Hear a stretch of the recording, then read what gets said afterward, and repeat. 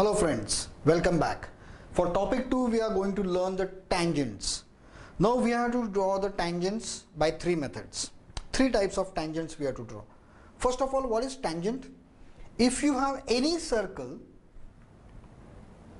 and if some line is there which is just intersecting that circle in one point only one point then that this line is said as the tangent to this circle the line should intersect the circle in only one point. Or in other words we say that that line is just touching the circle. It touches the circle. So it is a tangent. Now the first method you have to draw the tangent to the circle passing through the any given point on the circle. So suppose this is my circle center O I say and any point P is here. Now you have to draw the tangent passing through point P. How will you draw? First of all, let us imaginarily we draw this line. Let us say this is the line, this is the point P. Okay. Now if this line is touching the circle, in that case it makes the right angle to the radius or to the diameter of the circle. Okay, so we are going to use this property. So how will we proceed? Very simple. We will draw a circle which will be given radius. We will draw circle first with the centers O. Then suppose some point is given on the circle. Then we will extend this line okay we want to draw a tangent at this point P correct now if you take any line any point I will say take OX what I will do I will take this radius that OP and PX will be same so now it is very simple. I want to draw perpendicular to line which is passing through point on the given line. In this case, why I told you to take distance OP and PX same? Because so this P will automatically become midpoint. So now you have point P with you. You need only one more, one more point. How will you draw the uh, perpendicular through point P? Very simple. In compass, take a distance more than half from here and you will get one arc draw one arc from O cut that arc you will get the second point so join those two points and extend the line. That will be your perpendicular to line OX which is nothing but the tangent to this line. So by putting compass on X and O you will get arc somewhere cutting arc somewhere. Second point you will get and so you will get the tangent to this circle which is the right angle. Okay? Don't forget to show arrow here because you have extended this line when you are solving on the paper you have to write the construction also number one extend line OP okay take a distance OP equal to PX draw a line perpendicular to line OX passing through point P and connect these two points. So two arcs will be there. Your two arcs will be there somewhere. Okay. You have to write the construction also. But very short. Don't write a big essay. I am taking this and doing that and doing that. No, nothing like that. Okay. In short steps, whatever you are doing, write the construction. So even if your construction is not perfectly matching, if you have written all the points, you will get marks. Correct? So this is the first method of drawing the tangent to the circle. But here we have made use of center of the circle. That means we have extended that line. That means center of the circle is used. Now we have to draw the tangent to the circle without using its center. That means if circle is there you can draw this circle of any radius anything. And now suppose you have to draw the tangent to this circle without using center. Let us see how to draw that. This is a rough figure, okay? Theoretical figure. So first of all, I will draw a triangle in the circle. If they say that uh, draw the tangent to this circle passing through point P. So taking point P as one vertices of the triangle, I will construct a triangle. Okay. Now let us say that I have constructed this tangent also. Okay. This tangent also I have constructed. My line is not touching, uh, but just consider it is touching. Okay. Now you have to recall the theorem which we have learned in the second chapter, circle. Alternate segments.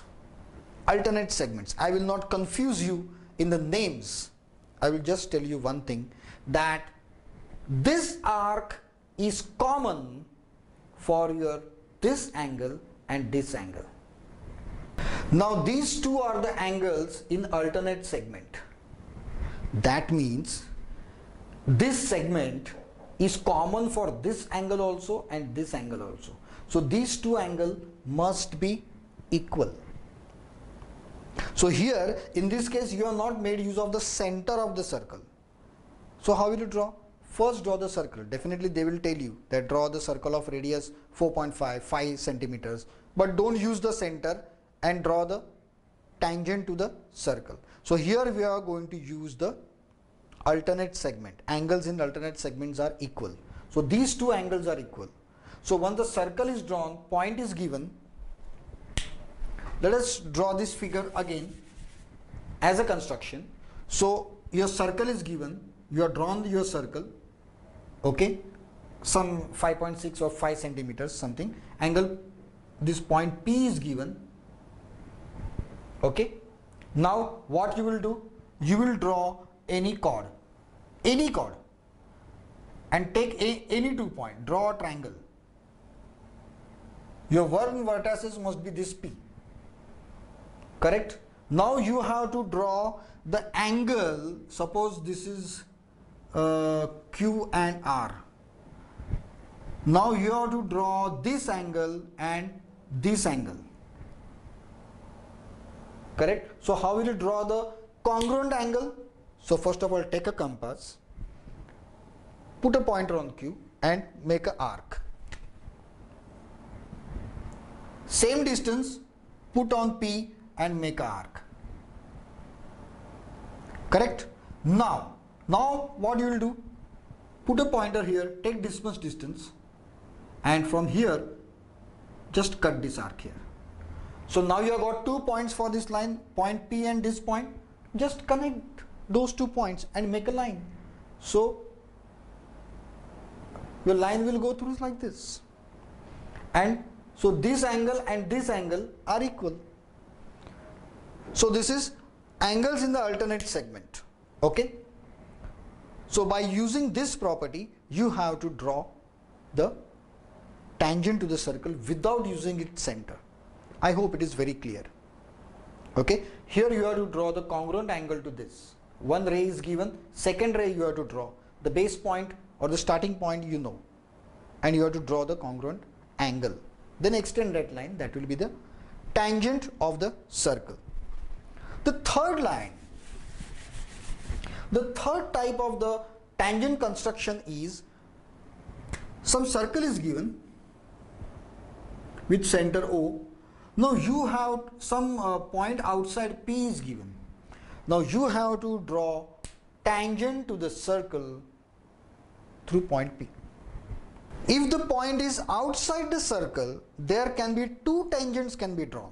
Two tangents can be drawn to this circle through this point P. One is your this one, upper one and this one is lower one. Two tangents can be drawn. So if the point P is outside, then you have to draw two tangents. Now how we will draw this? We are going to use the inscribed angle theorem here. And you know that the angle inscribed in the semicircle is 90 degrees. So in this case what we have to do? now you have got O and P. Two points you have got. Now forget about this original circle. Forget about this. Now this OP as a as a diameter, OP as a diameter, you have to draw a circle. Again, forget about the original uh, circle now. Okay, smaller circle, forget about this. Now we are going to draw a big circle with OP as diameter. That means first of all, you have to draw the perpendicular bisector of OP which will come somewhere here. Suppose this is I say is R. Okay? Now taking RP as a radius you have to draw this big circle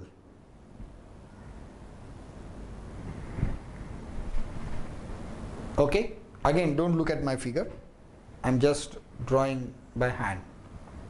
So wherever these two cutting points are there if I join these points what will happen? This is the diameter and this is the point anywhere on the semicircle. And angle inscribed in semicircle is 90 degrees. That means this angle is 90 degrees. But isn't it the radius of the smaller circle?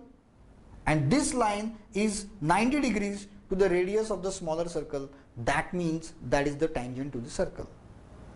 The same case is on opposite side. If I join this point now this is a semicircle. This is angle subscribed in uh, angle inscribed in semicircle. And so this is 90 degrees so this is the tangent. So how we will draw this? We are going to draw first a circle whatever circle they will give whatever dimension they will give. They will give some point outside the circle. Suppose they said at a 10, 10 centimeters away from the circle so mark point A somewhere 10 centimeter.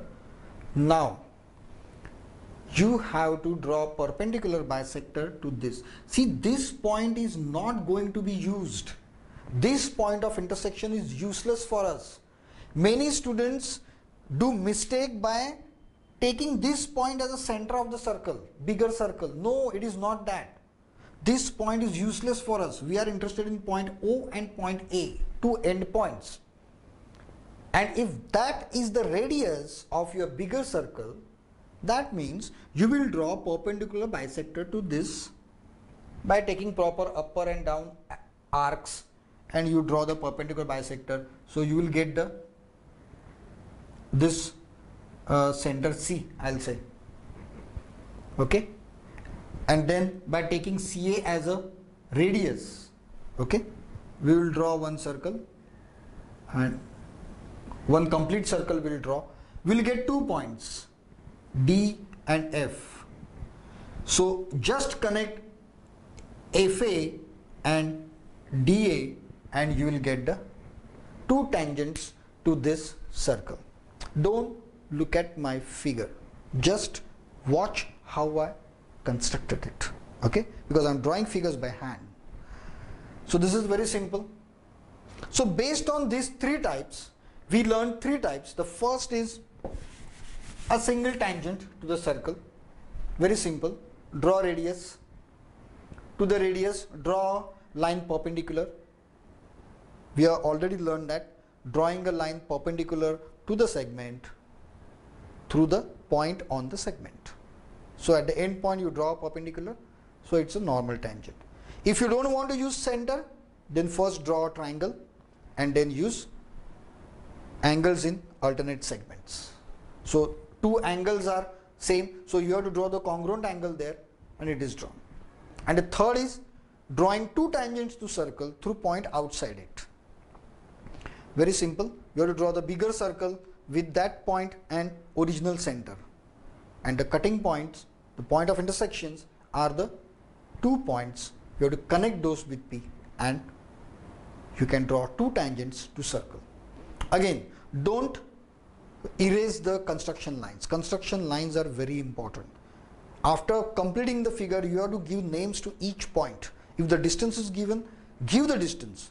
give the unit also if 5.6 centimeters write the centimeters if some angle is given write the angle and at last darken your main figure that's all and write the answer also this these lines is a tangent to the circle and how you are constructed better to write the construction in just points.